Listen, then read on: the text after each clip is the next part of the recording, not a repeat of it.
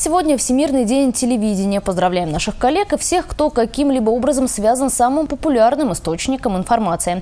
В этот праздничный день вдвойне приятно рассказать о еще одном радостном для нас событии.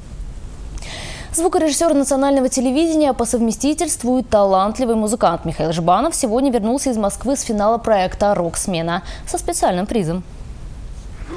Конкурс уже четвертый год подряд устраивает известная российская рок-группа «Люмен». Малоизвестные музыканты со всей России присылают на отбор видео с перепетами на свой лад песнями группы. В этом году набралось 70 участников, из них лишь 7 прошли в финал. Чебоксарская группа «Ярче» тоже отправилась в столицу. Синими реками, далекими морями, Неси, неси мои слова,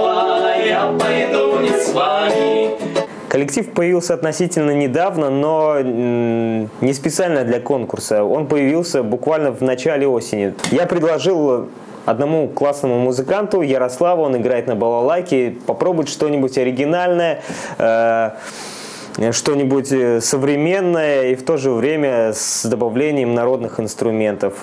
Балалайка, губная гармошка, голоса певцов и картины на стене комнаты мало кого оставили равнодушными. Даже на официальной страничке группы «Люмен» в интернете среди вопросов о гастролях можно было увидеть, у кого есть песни группы ярче. Сами рокеры тоже не остались равнодушными. Ребята, прямо, прямо сейчас на фестивале мы э, выдумали еще одну номинацию и решили, что это будет справедливо. И назвали это неким призом зрительских симпатий. Э, Был коллектив, который, безусловно, взорвал и вас сегодня в зале, и взорвал интернет. Хотя это совсем не подходит по категории рок. Э, Мы им советовались и решили Нам они предложили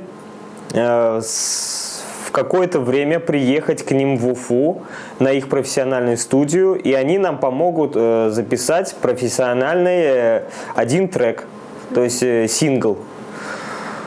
Я думаю, это э, даже лучше, чем главный приз. По крайней мере, для меня, для музыканта, это намного важнее. И это очень большой шаг. Коллективу национального телевидения остается только радоваться за коллегу и томиться в ожидании новых песен. Анастасия Алексеева, Александр Петров, Республика.